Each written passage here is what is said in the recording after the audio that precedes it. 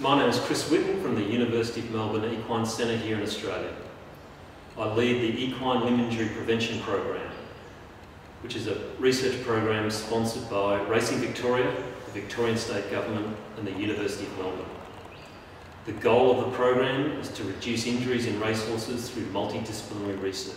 We are excited to be partnering with the Grayson Jockey Club once again to investigate the use of wearable technology through GPS and inertial sensors to monitor the development of injuries in racehorses at, during race day monitoring.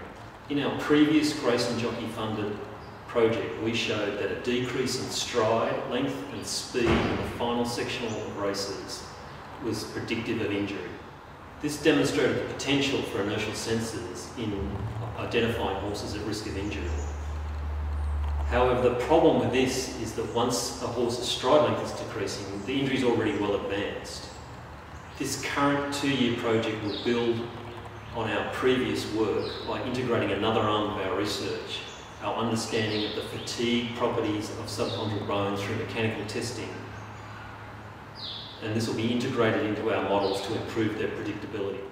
First, we will calculate the fatigue life of bone from previously published fatigue equations and using stride data from inertial sensors mounted on racehorses in Tasmania where every horse wears an inertial sensor in their saddle cloth every time they race.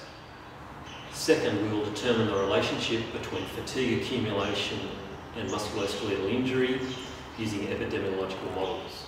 We are extremely grateful for the support of the Grayson Jockey Club who have made this study possible.